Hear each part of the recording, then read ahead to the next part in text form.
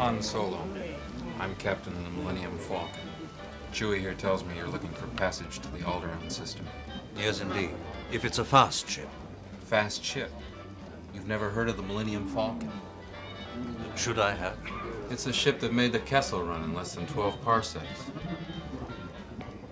I've outrun Imperial starships. Not the local bulk cruisers, mind you. I'm talking about the big Corellian ships now. She's fast enough for you, old man. What's the cargo? Only passengers. Myself, the boy, two droids, and no questions asked. What is it, some kind of local trouble? Let's just say we'd like to avoid any Imperial entanglements. Well, that's the real trick, isn't it?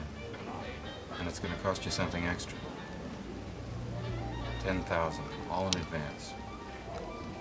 10,000? I'd almost buy our own ship for that.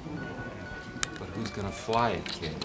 You? You bet I could. I'm not such a bad pilot myself. We don't have to sit here and listen.